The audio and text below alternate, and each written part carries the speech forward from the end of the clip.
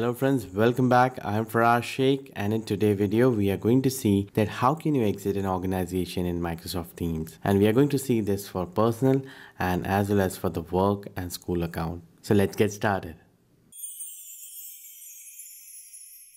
Once you log into your Microsoft Teams account and if you just hover your mouse next to the profile icon and if you pull this icon down, you'll find the list of all the organizations which you are connected. Now this is my personal account and I have been connected to various organizations over here. Now in case if I just need to exit in any organization, I didn't find any option for the personal settings over here where you can easily exit it and that can be very handy. So I'll be showing it to you that how can we do it first for the work and the school account.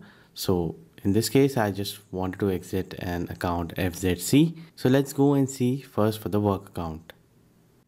Once you log into your office.com account with your work or school ID, all you have to do is go to your profile icon and click on view account. You can directly access your view account by going to myaccount.microsoft.com.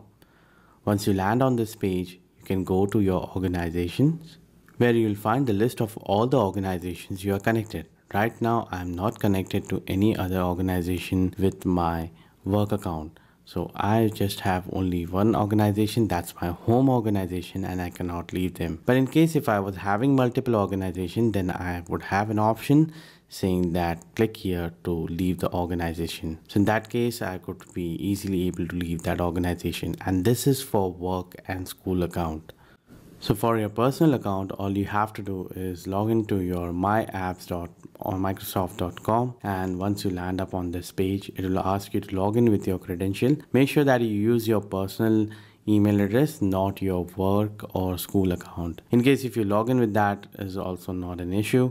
You will just find some all apps what are been assigned to you. Now this is a new interface what I have seen uh, Microsoft is developing and I hope they make this interface a little bit easier to exit any organization if somebody wants to. But over here all you have to do is go to your profile and click over here and leave the new experience.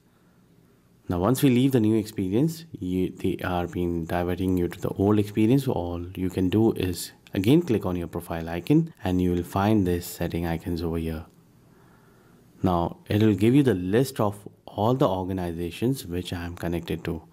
Now if I need to leave an organization, I can just simply need to sign in that organization and then leave it.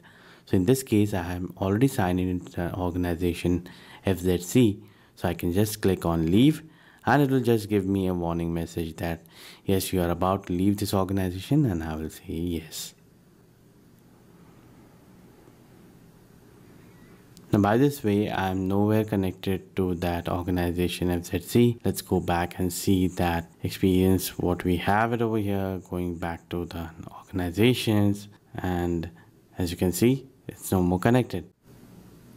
So once you come to your desktop version, you will still find that list of that organization under your name. Nothing to worry that it will take some time to clear that history from there. But once you sign out or sign in, maybe after some time, you don't see that organization name. So I hope this video would be helpful for you, my friends, and make sure that you drop me your comments about this and do let me know that have you ever experienced this kind of an issue because I have got a few of the requests from my friends they were having a long list of organizations and they just wanted to wipe it off from their list. But they were having a work account so that was quite easy. And some of them were having personal.